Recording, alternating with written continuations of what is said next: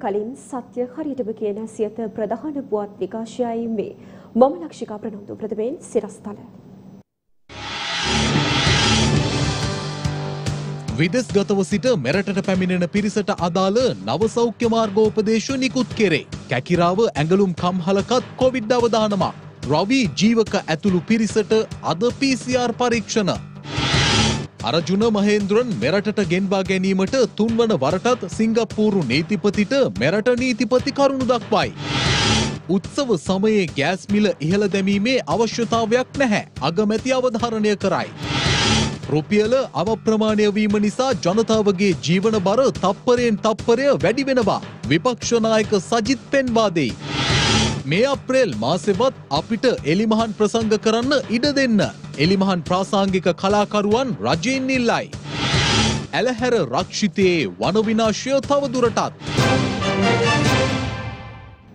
ප්‍රථමයෙන් දේශීය පුවත්.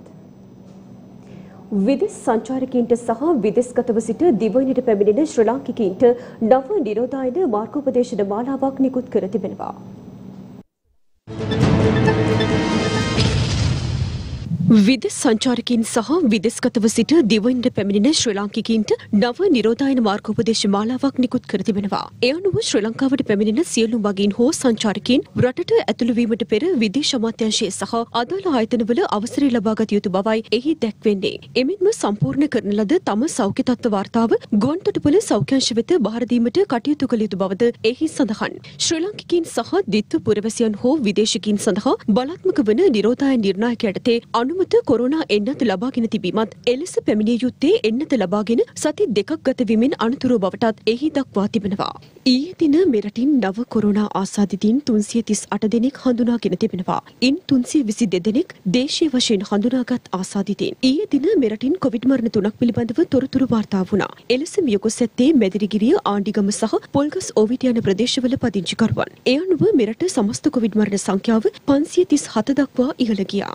බැඳුම්කර වංචාවට අදාළව රිමාන්ඩ් බන්ධනාගාර ගත කර සිටින රවි කරුණානායක ඇතුළු පිරිසගේ PCR පරීක්ෂණ අද සිදු කිරීමට නියමිත බව බන්ධනාගාර මාධ්‍ය ප්‍රකාශක බන්ධනාගාර කොමසාරිස් චන්දන ඒකනායක මහතා ප්‍රකාශ කළා. මේ අතර බන්ධනාගාර ගත කර සිටින ETI හිටපු අධ්‍යක්ෂවරුන්ගේද PCR පරීක්ෂණ අද සිදු කරන බවයි බන්ධනාගාර මාධ්‍ය ප්‍රකාශකවරයා වැඩිදුරටත් සඳහන් කළේ. මහා බැංකුවේ බැදුම් කර සිද්ධිය සම්බන්ධව භාණ්ඩාගාර බැදුම් කර සිද්ධිය සම්බන්ධව රිමාන්ඩ් භාරයට පත් කර රවි කරුණානායක මහත්මයා ඇතුළු අට දෙනාම වැලිකඩ බන්ධනාගාර පරිශ්‍රයේ පිහිටි වැලිකඩ බන්ධනාගාර කාන්තාංශයේ පෙර පැවති කාන්තාංශයේ පිහිටුවා ඇති නිරෝධායන මධ්‍යස්ථානය වෙත ඇතුළත් කරලා තියෙනවා අට දෙනාම PCR පරීක්ෂණයක් කිරීමට නියමිතයි ඔවුන් වෙනුවෙන් අදාළ PCR පරීක්ෂණයෙන් පස්සේ ඔවුන් පොසිටිව් නම් ඔවුන් අදාළ නිරෝධායන මධ්‍යස්ථානය වෙත කණ්ඩකාඩු යවන්න නියමිතයි ඊට අමතරව එම ඍණාත්මක ආසාදිත නොවේ නම් ඔවුන් ඔවුන්ට අදාළ වන බන්ධනාගාරය වන කොළඹ රිමාන්ඩ් බන්ධනාගාරයට යවීමට නියමිතයි. ඒ අනුව ඔවුන් දැනට බන්ධනාගාර පරිශ්‍රයේ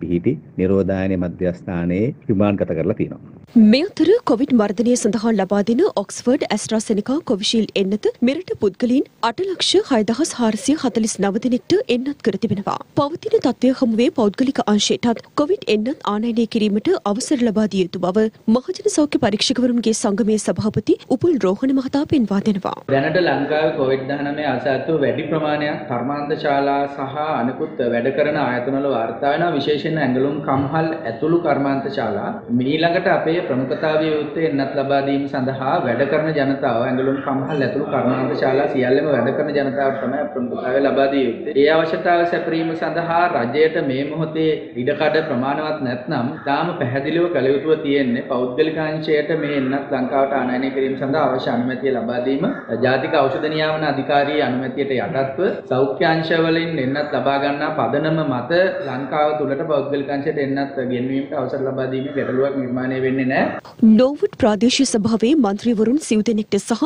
පුස්තකාලාධිපතිනියට COVID-19 වෛරසය ආසාදනය වී තිබෙනවා. භගවන්තලාව සෞඛ්‍ය වෛද්‍ය නිලධාරී කාර්යාලයේ සෞඛ්‍ය වෛද්‍ය නිලධාරීවරයා විසින් එම ප්‍රාදේශීය සභාව මේ මාස 28 වෙනිදා දක්වා දින 10ක් වසා දැමීමට උපදෙස් ලබා දුන්නා. පාදුක්ක සතිපොලෙහි සිදු කළ අහඹු ඇන්ටිජන් පරීක්ෂාවකදී කොවිඩ් ආසාදිතින් තිදෙනෙක් හමු වීම හේතුවෙන් සතිපොලෙහි සියලුම වෙළඳුන් අද දින PCR පරීක්ෂාවන්ට ලක් කෙරුණා. පාදුක්ක නගරයේ ජනතාවට කොවිඩ් මර්ධන එන්නත ලබා දීමද අද සිදු කෙරුණා. කැකිරාව ප්‍රදේශයේ පිහිටි ඇඟලුම් කම්හලකින් කොවිඩ් ආසාදිතින් දස දෙනෙක් හඳුනාගෙන තිබෙනවා. ඉන් අට දෙනෙක් ඊයේ දින හඳුනාගෙන ඇති බවයි කැකිරාව සෞඛ්‍ය වෛද්‍ය නිලධාරී කාර්යාලය ප්‍රකාශ කළේ. ඇඟලුම් කම්හලේ සෙසු සේවකීන්ද PCR පරීක්ෂණ සඳහා යොමු කිරීමට සෞඛ්‍ය අංශ පියවර ගෙන තිබෙනවා.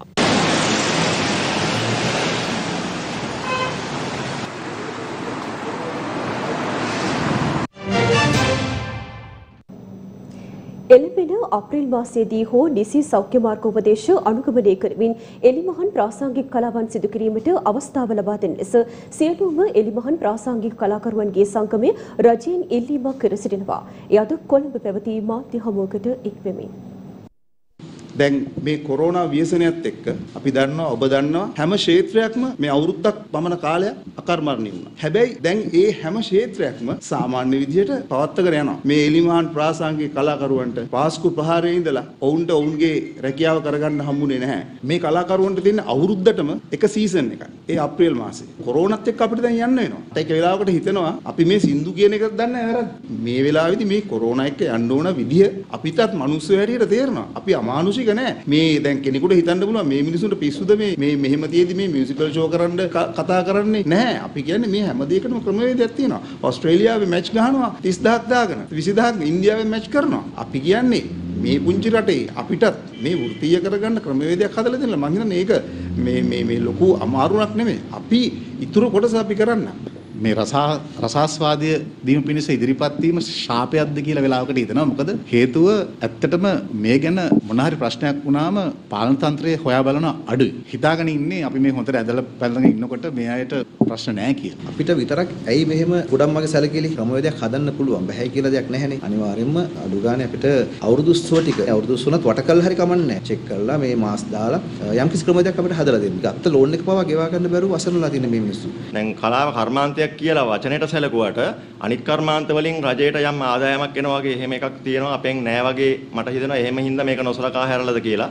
කොවිඩ් එක ජීවත් වෙන්න ඕන කියන ලෝකයේ තියෙන ඉල්ලීම අපි දන්නවා. නමුත් අනිත් අය වැඩ පටන් ගද්දී අපි නතර වෙලා බලාගෙන ඉන්නවා. අපිටත් ජීවත් වෙන්න ඉඩ දෙන්න. මේ අවුරුද්දත් අපිට මිස් වුණොත් අපිට නැති වුණොත් අප්‍රේල් මාසේ ලබන අප්‍රේල් මාසේ දකම්ම තව අවුරුද්දක් අපිට ගෙවල් වලටලා ඉන්න සිද්ධ වෙනවා. අපිට දැන් මේ වෙද්දි ගීතත් අමතක වෙන තත්ත්වෙට ඇවිල්ලා තියෙනවා. ඉතින් ඉතින් ඇත්තටම කිව්වොත් මනස විකෘති වෙලා ඉන්න මිනිසෙකුට වුණත් අපි සින්දුවක් කියලා නටලා අපි ඒගොල්ලම ප්‍රබෝධමත් කරලා ඒ පිස්සුයි කියන දේෙන් මුදව ගන්න අපිට පුළුවන් වුණා. ඉතින් දැන් ඇත්තටම කිව්වොත් අපිට දැන් ඒගොල්ල ඉන්න තැනින් අපිට පොඩි ඉඩක් අපිටත් වෙන් කරන්න කියලා තමා ඊගාවට අපිට කියන්න වෙන්නේ මොකද අපි දැන් ඒ තත්ත්වයට ඇවිල්ලා ඉන්නේ. රට තුළ ගෑස් හිඟයක් නොමැති බැවින් උත්සව සමයේ ගෑස් මිල ඉහළ දැමීමේ අවශ්‍යතාවයක් නොමැති බව අග්‍රාමාත්‍ය මහින්ද රාජපක්ෂ මහතා පවසනවා. වර්තමාන ආර්ථික තත්ත්වය සහ වෙළඳපොළ සම්බන්ධයෙන් පැවති සමාලෝචන සාකච්ඡාවකට එක්වෙමින් අග්‍රාමාත්‍යවරයා මේ බව සඳහන් කළා.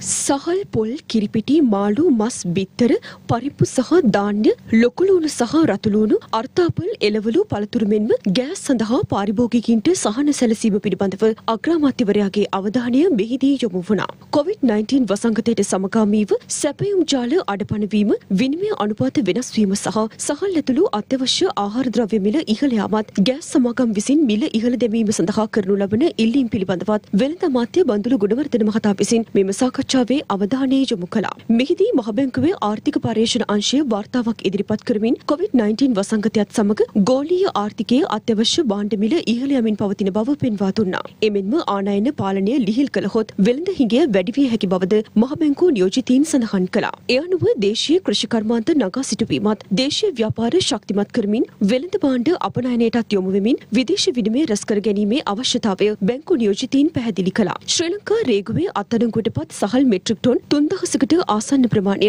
සතුස්ස හරහා ජනතාවට බෙදාදීමේ වැඩපිළිවෙලක් සකස් කළ හැකිදැයි ආර්ථික පුනර්ජීවනය සහ දරිත්‍රතාවය තුරන් කිරීම සඳහා වන ජනාධිපති කාර්යසාධක බලකාය සභාපති බැසිල් රාජපක්ෂ මහතා මෙහිදී විමසා සිටියා. මේ අතර දෙදින රාජ්‍යතාන්ත්‍රික සංචාරයක් සඳහා අග්‍රාමාත්‍ය මහින්ද රාජපක්ෂ මහතා හෙට බංග්ලාදේශය බලා පිටත් යාමට නියමිතව තිබෙනවා. බංග්ලාදේශ අග්‍රාමාත්‍ය ෂේක් හසීනා මහත්මියගේ ආරාධනයකට අනුවයි අග්‍රාමාත්‍යවරයා මෙම සංචාරයට එක්වන්නේ. බංග්ලාදේශ ජනරජයේ ජාතිය පියා ලෙසට සැලකෙන ෂේක් මුජිබ රහමන් මහතාගේ ජන්ම ශතවර්ෂය සහ බංග්ලාදේශයේ නිදහස් ස්වර්ණ ජයන්තිය සැමරීමට සමගාමීව අග්‍රාමාත්‍යවරයා මෙම සංචාරයේ නිරත වනවා. මෙහිදී අග්‍රාමාත්‍යවරයා බංග්ලාදේශ අග්‍රාමාත්‍ය ෂේක් හසීනා බංග්ලාදේශ ජනාධිපති මොහොමඩ් අබ්දුල් හමීඩ් ඇතුළු එරට ඉහළ පෙළේ නිලධාරීන් සමග ද්විපාර්ශ්වික සාකච්ඡා පැවැත්වීමට නියමිත බවයි අග්‍රාමාත්‍ය කාර්යාලය සඳහන් කළේ. එමෙන්ම මෙම සංචාරය තුළදී කෘෂි කර්මාන්තය කාර්මික අධ්‍යාපනය සෞඛ්‍ය සහ සංස්කෘතික සහයෝගීතාව වැනි විවිධ අංශයන්ට අදාළව අවබෝධතා ගිවිසුම් කිහිපයකටද එළඹීමට නියමිතයි. වර්තමානයේ රුපියල අවප්‍රමාණය වීම හමුවේ රට ආර්ථික වශයෙන් ගැටලු රැසකට මුහුණ දී ඇති බව විපක්ෂ නායක සජිත් ප්‍රේමදාස මහතා පවසනවා. ඒ මොරටුව ප්‍රදේශයේ පැවති 56 වන සත්කාරය විපක්ෂ නායක ජංගම සේවයට එක්වෙමින්. අපේ ආණ්ඩු බලය තියෙන කාලේ රුපියල අවප්‍රමාණය වෙනකොට මොනවද විපක්ෂය කිව්වේ? එවකට විපක්ෂය නොකියපු දෙයක් නැහැ. රුපියල අවප්‍රමාණය වෙනකොට ආර්ථිකය කඩා වැටෙනවා කිව්වා. දැන් අද දවසේ මොකද්ද වෙලා තියෙන්නේ? රුපියල අවප්‍රමාණය වීම 200ක් ඉක්මවල ගිහිල්ලා තිබෙනවා. මේ රුපියල අවප්‍රමාණය වීම තුල බරපතල ආර්ථික ගැටලු රාශියකට රට මුහුණ දෙනවා. රටේ ණය ටික ගෙවා ගන්නට බැරි වෙනවා. රටේ විදේශ සංචිත ටික අඩු වෙනවා. රට තුල තිබෙන ආර්ථික ශේෂ්ත්‍රයේ සංවර්ධනයට තිබෙන ආකර්ෂණය අඩාල වෙනවා. දුර්වල ආර්ථික කළමනාකරණයක් තුළින් අද අපේ රට කඩා වැටිලා තිබේ. මම විශේෂයෙන්ම අහන්න කැමති මේ රුපියල අවප්‍රමාණය වීම පිළිබඳව මොකද්ද දැන් ආණ්ඩුව කියන්නේ? එදා අපි ආණ්ඩුවේ සිටිනකොට විපක්ෂයේ ඉඳගෙන කිව්ව දේ මතකද? අපිට ආර්ථික පාඩම් ඉගෙනුවා. මේ ආණ්ඩුව ආර්ථික පාඩම් ඉගෙනගෙන තියෙනවා. පොදු ජනතාවට ජීවත් වෙන්නට බෑ. ජීවන බර දිනෙන් දින නෙවෙයි, තප්පරෙන් තප්පරය වැඩි වෙනවා. දරා ගන්න බැරි පීඩනයක් අසහනයක්. ජනතා පීඩනය අසහනය වර්ධනය වෙනකොට වර්තමාන ආණ්ඩුව අහක බලා ගන්න. ජනාධිපතිවරයා ප්‍රමුඛ අගමැතිවරයා ඇතුළු කැබිනට් මණ්ඩලය ඇතුළු මේ වර්තමාන ආණ්ඩුව මේ තත්ත්වයට වග කියන්නට ඕන. අපිට පෙනෙන විදියට අද සෞභාග්‍ය ලැබෙන්නේ මේ රටේ පාලකයොන්ට පමණයි. මැති ඇමතිවරුන්ට පමණයි. රාජ්‍ය පාර්ශ්වයට පමණයි. ආණ්ඩුවේ සියලු දෙනා සුකෝපභෝගී ජීවිත ගත කරන විට රටේ සමස්ත ලක්ෂ දෙසිය විස්සක් වූ ජනතාව දුකට පත්වී හමාරයි. පසුගිය දිනක පුවත්පත් වෙබ් මාධ්‍යවේදියෙක් තමාව පැහැරගෙන ගොස් පිරිසක් විසින් පහර දුන් බවට සිදු කළ පැමිණිල්ල අසත්‍ය පැමිණිල්ලක් බව මේ වන විට තහවුරු වී තිබෙනවා. පහර කැමට ලක්ව කොළඹ ජාතික රෝහලට ඇතුළත් වීමට පෙර එම මාධ්‍යවේදියා පාර්ලිමේන්තු මන්ත්‍රී රාජිත සේනාරත්න මහතා හමු වී ඇති බවටයි පොලිස් විමර්ශනවලදී අනාවරණය වී ඇත්තේ. පසුගිය දිනක පිරිසක් විසින් කළු පැහැති වෑන් රථයකින් තමාව පැහැරගෙන ගොස් වදහිංසනයට ලක්කර තමාගෙන් දත්තපටියක් පිළිබඳව විමසා තමාට පහරදුන් බව පවසමින් පුවත්පතක වෙබ් මාධ්‍යවේදියෙකු පොලිසිය වෙත පැමිණිල්ලක් සිදු කර තිබුණා. එම පැමිණිල්ලට අදාළව පොලිසිය විසින් සිදු කළ පරීක්ෂණවලදී එය සම්පූර්ණයෙන්ම අසත්‍ය කතාවක් බව අනාවරණය වී තිබෙනවා. සිද්ධිය සිදු වූ බව කියන කාලය තුළ එම පුවත්පත් වෙබ් මාධ්‍යවේදයා තිමිරිගස්සායේ පිහිටි චතුර සේනාරත්න මහතාගේ කාර්යාලයට ගොස් රාජිත සේනාරත්න මහතා හමුව තිබෙන බවටයි පැමිණිලිකරුගෙන් සිදු කළ ප්‍රශ්න කිරීම්වලදී ඔහු පාපොච්චාරණය කර ඇත්තේ. එම නිසා ඊට අදාළව පාර්ලිමේන්තු මන්ත්‍රී රාජිත සේනාරත්න සහ චතුර සේනාරත්න යන මහත්වරුන්ගෙන් ඉදිරියේදී කොළඹ අපරාධ කොට්ටාසය ප්‍රකාශ සටහන් කර ගැනීමට නියමිත බවයි පොලිස් මාධ්‍ය ප්‍රකාශක නියෝජ්‍ය පොලිස්පති අජිත් රෝහණ මහතා සඳහන් කළේ. මේ දීර්ඝ විමර්ශනයක් කිරීමෙන් අනතුරුව අනාවරණය වී තිබෙනවා. මේ මාධ්‍යවේදියා විසින් යොදා ඇත්තේ අසත්‍ය පැමිණිල්ලක් බවට තමන්ගේ අත් දෙක පුළුස්සා චිප්පතක් ඉල්ලුවා යයි සඳහන් කිරීම සම්පූර්ණ අසත්‍යයක්. ඔහු ඔහුගේ නිවසේදී නවවෙනි දින රාත්‍රී කාලයේදී තමා විසින්ම මේසන් හැන්දකින් පුළුස්සාගෙන ඇති බවට අනාවරණය වී තිබෙනවා. මේ තියෙන්නේ ඒ මේසන් හැන්ද. මොහු හවස මාලිගා වත්ත ප්‍රදේශයේදී අදාළ පුද්ගලයින් මොහුව වාහනයෙන් බැස්ස වූ බවට සඳහන් වන කතාව සම්පූර්ණයෙන්ම අසත්‍යයක්. මොහු මීගමුව සිට පැමිණි දුම්රියකින් පැමිණ දෙමටකොට දුම්රිය ස්ථානයෙන් බසින CCTV දර්ශන සොයාගෙන තිබෙනවා. මොහු මෙසේ ගොතන ලද කතාවක් සහිතව ඊළඟට ගොස් තිබෙන්නේ තිබිරිගස්්‍යාය ප්‍රදේශයේ පිහිටි චතුර සේනාරත්න යන අය විසින් පවත්වාගෙන යනු ලබන කාර්යාලයකට. එවගේම එම කාර්යාලයේ පැය තුනහ මාර්කට අසන්න කාලයක් මොහු ගත කර තිබෙනවා. එවගේම එම පුද්ගලයා විසින් ප්‍රකාශ කරන ලබන ආකාරයට එම කාර්යාලයට පැමිණි පාර්ලිමේන්තු මන්ත්‍රී රාජිත් සේනාරත්න මහතා ඔහු හමු බවත් සඳහන් කර තිබෙනවා. ඉන්පසුව ඔහුව එතැනින් ජාතික රෝහලට ඇතුළත් කිරීමක් සිදු කළ බවට ඔහුගේ ප්‍රකාශයේ සඳහන් කර තිබෙනවා. මේ සම්බන්ධයෙන් කොළඹ අපරාධ කොට්ටාශයේ නිලධාරීන් විසින් පාර්ලිමේන්තු මන්ත්‍රී රාජිස් සේනාරත්න මහතාගෙන් එවැගේම චතුර සේනාරත්න මහතාගෙන් ප්‍රකාශ ලබා ගැනීමට නියමිතව තිබෙනවා. මහබැංකුව බැඳුම්කර වංචාවට චෝදනා එල්වී සිටින හිටපු මහබැංකු අධිපති අර්ජුන් මහේන්ද්‍රන් මෙරටට ගෙන්වා ගැනීම සඳහා තුන්වන වතාවටත් සිංගප්පූරු නීතිපතිවරයාට කරුණු පැහැදිලි කර ඇති බව මෙරට නීතිපතිවරයා අද මහාධිකරණයට දැනුම් දුන්නා. දෙදහස් පහළොව වසරේ සිදු වූ බැඳුම්කර වෙන්දේසියේදී බණ්ඩාගාර බැඳුම්කර වංක ලෙස සාවත්‍ය පරිහරණය කිරීම තුළින් රජයට පාඩුවක් සිදු කර යැයි චෝදනා එල්ල වී සිටින හිටපු මහබැංකු අධිපති අර්ජුන් මහින්ද්‍රන් ශ්‍රී ලංකාවට ගෙන්වා ගැනීමේ ක්‍රියාදාමය සම්බන්ධයෙන් තුන්වන වතාවටත් සිංගප්පූරු ජනරජයේ නීතිපතිවරයා වෙත කරුණු පැහැදිලි කිරීම යොමු කර තිබෙන බව නීතිපතිවරයා අද කොළඹ ස්ථිර ත්‍රිපුද්ගල මහාධිකරණය හමුවේ දන්වා සිටියා. මෙම නඩුව අද චම්පා ජානකී රාජරත්න දමිත් තොටවත්ත සහ නාමල් බලල්ල යන මහත්ම මහත්මීන් ගෙන් සමන්විත ත්‍රිපුද්ගල මහාධිකරණ විනිසුරු මඩුල ඉදිරියේ කැඳවනු ලැබුවා. එහිදී නීතිපතිවරයා වෙනුවෙන් පෙනී සිටි නියෝජ්‍ය සොලිසිටර් ජෙනරාල් පාරින්ද රණසිංහ මහතා අධිකරණයේ හමුවේ කරුණු දක්වමින් මෙම නඩුවේ පළමුවන විත්තිකරු වන අර්ජුන් මහේන්ද්‍රන් නැමැත්තා මේ වන විට සිංගප්පූරුවේ සිටින බවට තොරතුරු ලැබී ඇති බැවින් ඔහු ශ්‍රී ලංකාවට පිටුවහල් කරන ලෙස ඉල්ලමින් සිංගප්පූරු ජනරජයේ නීතිපතිවරයා වෙත මෑතකදී ඉල්ලීමක් යොමු කර තිබූ බව සිහිපත් කළා. එම ඉල්ලීමට අදාළව මෙරට නීතිපතිවරයා විසින් සිංගප්පූරු ජනරජයේ නීතිපතිවරයා වෙත තුන්වන වතාවටත් කරුණු පැහැදිලි කිරීම යොමු කර තිබෙන බවත් ඒ අනුව සිංගප්පූරු නීතිපතිවරයාගේ ප්‍රතිචාරය ලැබෙන තුරු බලා සිටින බවත් නියෝජ්‍ය සොලිසිටර් ජෙනරාල් පාරින්ද රණසිංහ මහතා දැනුම් දුන්නා. තවදුරටත් කරුණු දැක්වූ නියෝජ්‍ය සොලිසිටර් ජෙනරාල්වරයා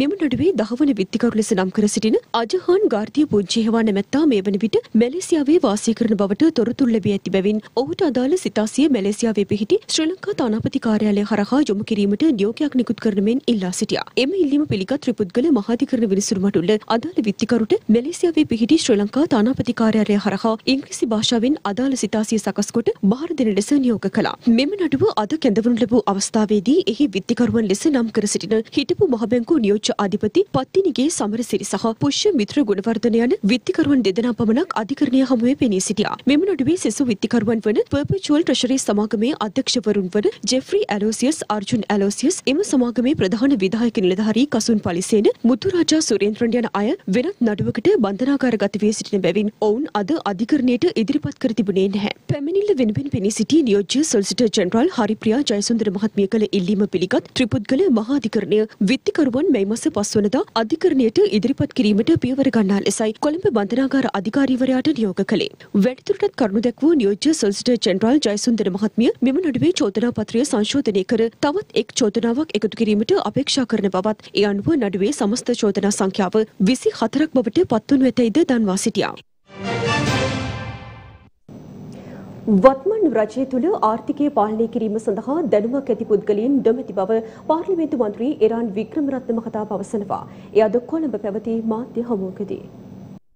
බන්දුල ගුණවර්ධන ගුරුතුමා හැමදාම පාඩම් දුන්නා. මේක ඩොලර් එක යනකොට මෙහෙම වෙනවා, අර එහෙම වෙනවා, අරක කැඩෙනවා, මේක කැඩෙනවා කියලා එක එක පාඩම් දුන්නා. අපි පුද්ගලයන් විවේචනය කරන්න කැමති නෑනේ. යාගේ පාඩම අද පාවිච්චි කළා නම් කඩා වැටලා නෙමෙයි. මේක සුන් වෙලාම ගිහිල්ලා ආර්ථිකය. මේ රජයේ වෙලා තියෙන්නේ ඇත්තටම ආර්ථිකය ගැන දැනුමක් තියෙන අය නෙමෙයි ආර්ථිකය පාලනය කරන්නේ. මං හිතන්නේ රටේ ජනතාවට වාසියක් තියෙන්න නම් මුදල් ඇමති කෙනෙක් ඉන්න ඕනේ ආර්ථිකය ගැන දැනුමක් තියෙන. අපේ රටට වෙලා තියෙන අවාසනාවන්ත දෙයක් ඇවිල්ලා හුඟක් වෙලාවට ඒ හේම ස්වාධීන මුදල් ඇමති කෙනෙක් නැහැ. අද එදා ගත්තේ තීරණ ගත්තේ නැත්තම් අද ඊට වැඩිය ලොකු ආර්ථික ප්‍රපාතයකට මුහුණ දෙන්න වෙනවා. මේ වෙනකොට මහවැලි අධිකාරියේ අවශ්‍යතාවය මත සංචාරකයන්ට පහසුකම් සැලසීමට යයි කියාමින් ඉදිකිරීමක් සිද්ධ වෙනවා. මේ පිළිබඳව අපි අපේ විරෝධතාවය සම්බන්ධීකරණ කමිටුවේදීත් අපි ඉදිරිපත් කරලා තියෙනවා. මෙතන ගැටලුව තියෙන්නේ අපි මේවා කතා කරපුවාම මේ ඒවට දේශපාලන පක්ෂ පාට ගන්නවා. පරිසරය ගැන කතා කරනකොට පාටක් පක්ෂයක් අවශ්‍ය වෙන්නේ නැහැ. ඒ සංවේදී කලාපයක් යම්කිසි පීඩනයකට ලක් වෙනවා නම් තර්ජනයකට ලක් වෙනවා නම් ඒ ගැන කතා කරන එක මේ රටේ සියලුම වැසියන්ට තියෙන අයිතිවාසිකමක් විදිහට මම දකිනවා. එක රටක් එක නීතියක් හැමෝටම ක්‍රියාත්මක වීම හොඳයි. හැබැයි ඒක තුල එක එක ජනවර්ගයන්ගේ සංස්කෘතික බැඳීම් වලට තියෙන වටිනාකම සම්පූර්ණයෙන් හානි කරන්න දෙන්න බෑ. ඒව තියෙන්න ඕන නීතිය එක වෙන්න ඕන. ලංකාවේ නීතිය තමයි ලංකාවේ නීතිය. ඒක සම්බන්ධ කිසිම තර්කයක් නැහැ. හැබැයි ඒ ජනවර්ගවල අනන්‍ය වූ සංස්කෘතික වටිනාකම් ඒ වටිනාකම් වලට තියෙන විවිධත්වය තුළ තියෙන ඉඩ දෙන්න ඕනේ. මොකද ශ්‍රී ලාංකිකත්වය කියන එක හැදෙන්නේ විවිධත්වයේ එකමුතුවක් විදියට. ඉදිරියේදී පළාත් සභා මැතිවරණය පැරණි ක්‍රමයටම පවත්වන ලෙසට ශ්‍රී ලංකා පොදුජන පෙරමුණේ පළාත් සභා සංසදය ඉල්ලීමක් කර සිටිනවා. එය අද කොළඹ පැවති මාධ්‍ය හමුවකදී. පළාත් සභාව කියන්නේ ශක්තිමත් වැඩපිළිවෙලක් ක්‍රියාත්මක කරන්න පුළුවන් කරන කරපු තා වැදගත් ජනතාවට අවශ්‍යම එකක් නිසා දැන් මේ නවාණ්ඩුක්‍රම ව්‍යවස්ථාව ගැන කතා කරන වෙලාවේ මැතිවරණ තියන්න අවශ්‍යයි තා ඉක්මනට. ඒක තියනවා කියලා කියන කියන නිසා අපි කියනවා විතරක් නෙවෙයි අපිට හොඳ විශ්වාසයි රික්තයක් තිබ්බා දේශපාලන බලවේග ශ්‍රී ලංකා නිදහස් පක්ෂයේ අපි ක්‍රියාත්මක කළා ගෙනිච්ච එකේ මේ වැඩසටහන ගෙනියන්න බැරි වේද කියන අවස්ථාවක රටේ ජනතාව ඉල්ලපු ඉල්ලීම ඉෂ්ට කරන්න බැසිල් රෝහණ රාජපක්ෂ මැතිතුමා අපේ ජාතික සංවිධායකතුමා. එතුමා මේ පක්ෂය නිර්මාණය කළා. අද මේ මේ හැම කෙනෙක්ම අද මැතිවරණ තියන්න ඕන කියන වෙලාවේ අපි ඉල්ලීමක් කරනවා. ඉතා කඩිනෙන් මැතිවරණ තියන්න නම් පැරණි ක්‍රමයට සමානුපාතික නියෝජන ක්‍රමයට කරන්න. පළාත් සභා ලංකාවේ පහුගිය කාලය තුළ මැතිවරණය කිසි කෙනෙක් තියන්න උත්සාහයක් දැරුවේ නැහැ. විශේෂයෙන්ම වර්තමාන රජයේ අතිගරු ජනාධිපති ගෝඨාභය රාජපක්ෂ මැතිතුමා පළාත් සභා මැතිවරණය තැබිය යුතුයි කියන මතය හිටියත් මම හිතන්නේ රටේ පවතින මේ වාතාවරණය උඩ පළාත් සභා මැතිවරණය අපිට පහුගිය කාලේ කරගන්න අවස්ථාව ලැබුණේ නැහැ. මොකද මේ පළාත් සභාව තුළින් පහුගිය කාලේ ලැබිච්ච සේවය අද යම් මට්ටමකට අඩාල වෙලා තියෙනවා. ඒ වගේම පළාත් සභාව තුළින් පහුගිය කාලේ වෙච්ච කිසිම කටයුත්තක් මම හිතන්නේ අද මන්දගාමීව තමයි සිදු වෙන්නේ. ග්‍රාමීය මට්ටමේ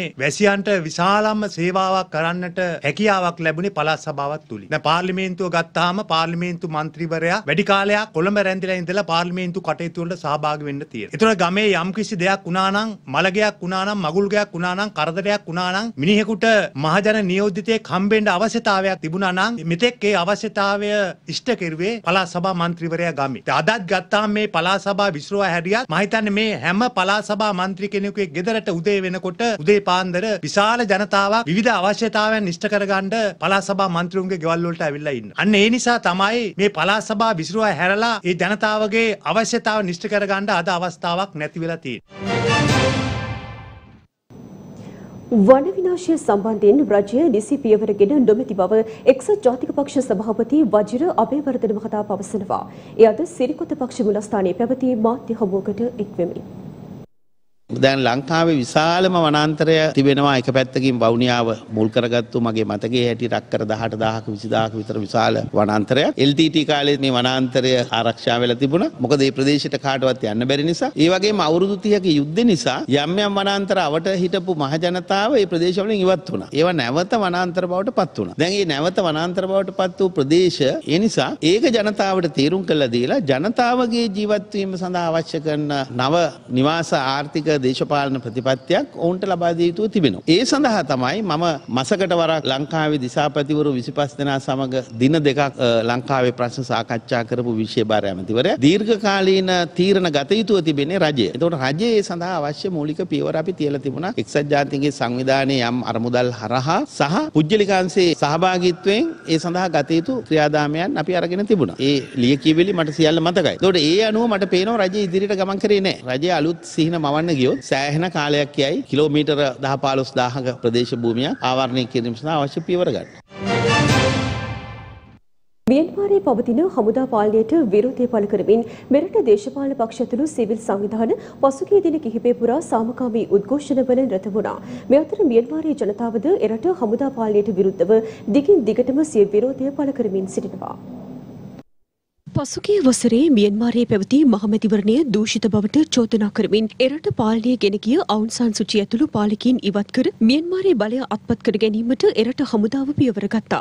මේ වන විට මියන්මාරය හමුදා පාලනයට නතුව මාස එකහමාරකට අධික කාලයක් ගතවනවා. මියන්මාරයේ පවතින දැඩි හමුදා පාලනයට විරෝධය පළ කරමින් එරට ජනතාව රටපුරා උද්ඝෝෂණවල නිරත වෙමින් සිය විරෝධය පළ කරමින් සිටිනවා. විරෝධතාකරුවන් මර්ධනය කිරීමට එරට හමුදා පාලනය ගත් පියවරත් සමග මේ වන විට සිවිල් වැසියන් එකසිය අසුවකට අධික පිරිසක් මියගොස් ඇති අතර එරට දේශපාලකින් සහ ප්‍රභූවරුන් තුන්දහසකට අධික පිරිසක් හමුදාව විසින් අත්තරංගුවට ගෙන තිබෙනවා. මියන්මාර හමුදා පාලනය මේ වන විට ලෝකනායකින් සහ ආගමික නායකින්ද විවේචනය කරමින් සිටින අතර දැඩි මර්ධනකාරී පිරිවෙතින් ඉවත් වන ලෙසටයි ආගමික නායකින් මියන්මාර හමුදා රජයෙන් ඉල්ලා සිටින්නේ. මේ අතර මියන්මාරයේ හමුදා පාලනයට විරෝධය පළ කරමින් මෙරට මියන්මාර තානාපති කාර්යාලය ඉදිරිපිටදී පසුගියදා සාමකාමී උද්ඝෝෂණයක් සංවිධානය කර තිබුණා.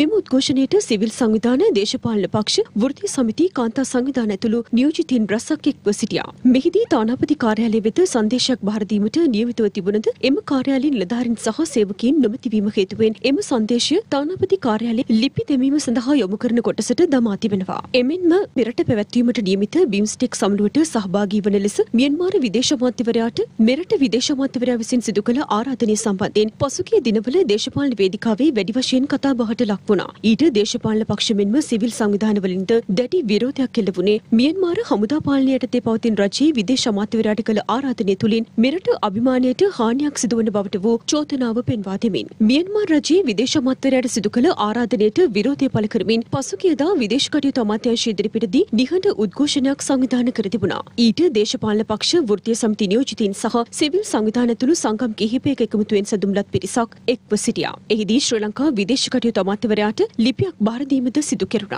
තුමා කිව්වා මම එහෙම කාටවත් එන්න කියලා නැහැ. ඊළඟට රජයේ හැටියට වගකීමක් තියෙන සභාපතිත්වයේ දරන අනිත් අයට ආරාධනා කළා. ඊපස්සේ අපි මතු කරේ ඒක අපි පිළිගන්නවා. අපිට තියෙන ගැටලුව තමයි තුමා කලයුතුව තිබුණේ තනතුරකට මේ ඇරවුම යවන එක. නමුත් ඔබතුමා හමුදා පාලනයේ ඉන්න විදේශ කටයුතු ඇමතිවරයාගේ නමින් ශ්‍රී ලංකා රජයේ හැටියට මේ ලියුම යවලා එයාට ආරාධනා කරපු එක තමයි මෙතන ගැටලුව කියලා අපි එතුමාට පැහැදිලි කරා. එතුමා කීප පාරණේ පිළිගන්න ලෑස්ති වුණේ නැහැ. නමුත් අපි දිගටම අපේ ස්ථාවරය තිබුණේ එතන තියෙන වැරද්ද ඒකයි. එහෙම නැතු මේ මියන්මාරයේ මේ බිම්ස්ටෙක් සමුළුවෙන් අයින් කරන්න කියන කාරණේ අපි මතු කරන්නේ. තරඟ විභාගයකින් තොරව විදුහල්පති සේවයට බඳවා ගැනීමේ ක්‍රියාපටිපාටි ඇතුළු තවත් ඉල්ලීම් කිහිපයක් මුල් කරගනිමින් හෙට දින විරෝධතා පාගමනකින් අධ්‍යාපන අමාත්‍යාංශය වෙත පැමිණෙන බව ලංකා ගුරු සංගමේ ලේකම් ජෝසප් ස්ටාලින් මහතා පවසනවා. එය අද කොළඹ පැවති මාධ්‍ය හමුවකදී. ආණ්ඩුව පෞගිය මාර්තු මාසේ පළවෙනිදා ඔවුන් කැබිනට් පත්‍රිකාවක් දැම්මා ශ්‍රී ලංකා විදුහල්පති සේවයට ආරදාස් අයසීයක් විභාගවලින් තොරව පත් කරන්න. එතකොට වහාම මේ තීරණය වහාම අකුල ගන්න. පෞගිය ආණ්ඩු හැම එකක්ම එක්දාස් නමසි අනු හතර ඉඳලාම ඊට පෙරත් ආණ්ඩු සේවා ව්‍යවස්ථාවලින් පත්වීම් ගැනීමට කැමති නෑ. කොද සේවා ව්‍යවස්ථාවලින් පත්වීම් ගන්න විධිමත්ව තරඟ විභාගෙන්. තමන්ගේ දේශපාලනයෙන් චයුම පත් කරන්න බෑ. පෞගිය කාලේ පුරාවටම කරේ දේශපාලන පලි ගැනීම කියලා කමිටු දාගෙන මෙන්න මේ අයට දේශපාලන පලි ගැනීම වුණා කියලා පත්වීම් දෙන එක. මේක තමයි හොරදොර. අපි අධ්‍යාපන ලේකම්වරයාට මේ සියලුම වෘත්තීය සමිතිවල අස්සනින් අපි ලියුමක් කැරියා 17 වෙනි දින ප්‍රථම මේ සම්බන්ධයෙන් ප්‍රතිචාරයක් උදක්වන්නේ නම් අපි කිසිදු දැනුම් දීමකින් තොරව අපේ ක්‍රියාමාර්ගය ඉස්සරහට ගන්නවා කියන කාරණාව. ඒ අනුව අපි තීරණය කරලා තියෙනවා හෙට දිනයේ මේ සේවාවන්ල නිලධාරීන් කැඳවලා බුද්ධදාස ක්‍රීඩාංගණය අසලින් ආරම්භ වන පහ ගමනකින් අධ්‍යාපන අමාත්‍යංශයට යන්න. රටක ව්‍යවස්ථාව උල්ලංඝනය කරන්න බෑ ජනාධිපතිට ඇම අගමැතිට ඇමතිවරුන්ට රටක ව්‍යවස්ථාව ඕන ඕන විදිහට උල්ලංඝනය කරන්න බෑ. ඒ වගේම තමයි අධ්‍යාපන ශේෂ්ත්‍රයේ ගුරු සේවා ව්‍යවස්ථාවක් තිබෙනවා විදුහල්පති සේවා ව්‍යවස්ථාවක් තියෙනවා අධ්‍යාපන පරිපාලන සේවා ව්‍යවස්ථාවක් තියෙනවා ගුරු අධ්‍යාපන සේවාවට ව්‍යවස්ථාවක් තිබෙනවා. ඒතර මේ ව්‍යවස්ථාවන් උල්ලංඝනය කරන්න කිසිවෙකුට අයිතියක් නැහැ. දැන් මේ සිදු කරමින් තිබෙන්නේ මේ ව්‍යවස්ථාව උල්ලංඝනය කරන එක. ඒ නිසා මේ ව්‍යවස්ථා උල්ලංඝනය කරමින් නීති විරෝධී ලෙස හොරපාරෙන් විදුහල්පති පත්වීම් ලබා දීමට අපි විරුද්ධයි. දැන් තර්ඩයි විශේෂාංකය.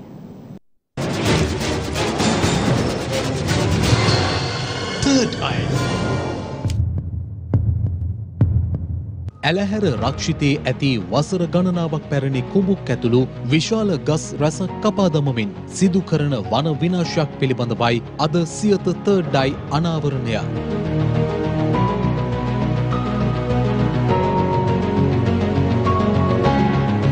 මෙම ඇලහැර රක්ෂිතයේ දියබෙදුම කෝදුරුවාව ප්‍රදේශයෙන් යෝදෑල හරහා පාලමක් ඉදිකෙරෙන බැවින් එම පාලම ඉදිකිරීමට විශාල වශයෙන් වටිනා කුඹුග්ගස් විනාශ කර ඇති අයුරු අපට මෙලෙස දක්නට ලැබුණා.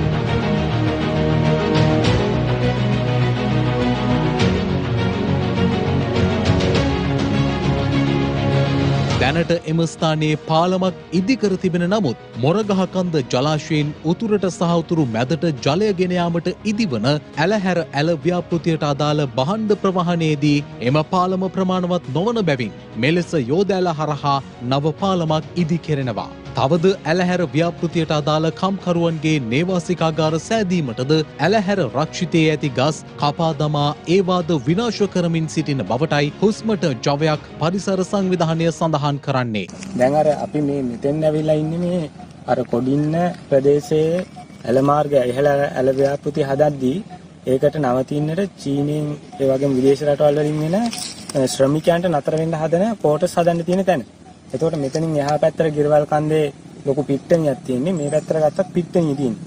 පිට්ටනිය උඩ හොඳටම කොටස් හදන්න පුළුවන්කම තියෙද්දි පිට්ටනියෙන් පල්ලෙහා කොටසක ගස් ටිකක් කපන. අපිට තියෙන ප්‍රශ්නේ මේ සංවර්ධනය කරනවාද එහෙම නැත්නම් ගස් කොළන් එක්ක තරහකට මොකක් හරි දත් මිටි කාගෙන ගස් කොළන් කපනවාද කියන ප්‍රශ්නේ. Third eye.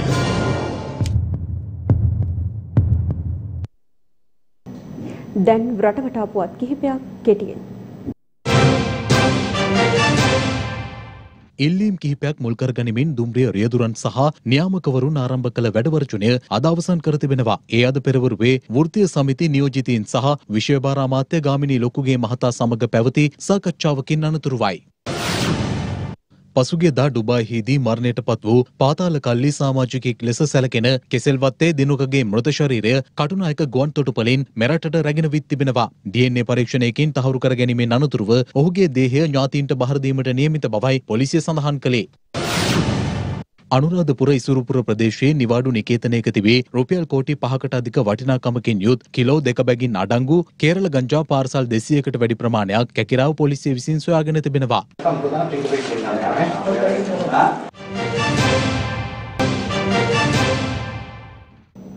ව්‍රිට්ස්බරි ගෙනෙන බෞබිමිට වීරෙක් තුළින් අද අප හමු වන්නේ උසපැනිමේ ශූර සෙනිරු අමරසිංහ ක්‍රීඩකයයි. ශ්‍රී ලංකා වාර්තා තමාගේ නමින් ලියන්නට සැරසෙන තවම පාසල් වියේ පසුවන ශ්‍රී ලංකාවේ උස පැනීමේ ශූර සෙනිරු අමරසිංහ. මවබිමට වීරයෙක්. මගේ නම සෙනිරු අමරසිංහ. මම යන්නේ කොළඹ රාජකීය විද්‍යාලයට. මගේ ඉස්සව්ව උස පැනීම. මට ක්‍රීඩාවට ඇත්ත වශයෙන්ම ගෙදරින් හොඳ සපෝට්ටයක් හම්බ වෙනවා විශේෂයෙන්ම තාත්තයෙන්ම තාත්තා මට කෝචස්ලා හොයලා දීලා ඕන කරන උපකරණ එහෙම අරන් දීලා සපත් එහෙම අරන් දීලා තියෙනවා. මම රිච්බරිස් ජෝන් ටාබර් ජූනියර් සහ සීනියර් මීට් වලට සහභාගී වෙලා තියෙනවා. ඒක ඉන්ටර්නැෂනල් ඉවෙන්ට් වලට යනකොට මට ඒක හොඳ අත්දැකීමක් වුණා. මගේ ඉසව උස පැනීම දැනට මම පැනලා තියෙන වැඩිම උස තමයි මීටර් 2 සෙන්ටිමීටර් 15යි ඒක පැන්නේ ගිය අවුරුද්දේ නැෂනල් මීට් එකේ. මගේ ඊළඟ අවුරුද්දේ ටාගට් එක තමයි 2.20 පයින් එක. වික්ටෝරියා ආයතනය මා ස්පොන්සර් කරලා තියෙනවා. ඒක මට ක්‍රීඩාවෙන් ඉදිරියට යන්න ලොකු ශක්තියක්. මගේ ක්‍රීඩාවේ මේන් ගෝල් එක තමයි කවදා හරි දවසක ඔලිම්පික් එකකට සහභාගී වෙන එක. ඒක ඇත්තටම මගේ පොඩි කාලේ ඉඳන් තිබ්බ හීනයක්. හොඳට ඒක ට්‍රේන් කරලා ඒකට සහභාගී වෙලා කොහොම හරි ලංකාවට මෙඩලයක් ගේන එක. ජාතික මලල ක්‍රීඩකයින් ඔලිම්පික් සිහිනය කරා ගෙන යාමට ශ්‍රී ලංකාවේ අංක එක රිට්ස්බර් චොක්ලට්ස් සවිබලය සපයන්නේ මහත් අභිමානයෙන් රිට්ස්බරි මව්බිමට වීරයෙක්.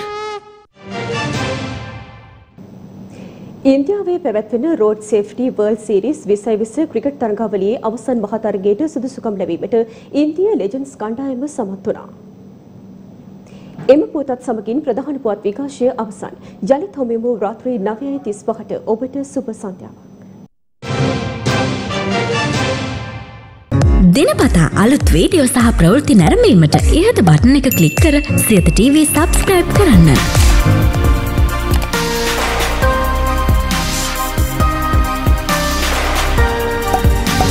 වීඩියෝ ගැන මුලින්ම දැනගන්න මෙම සීනුව ක්ලික් කරන්න.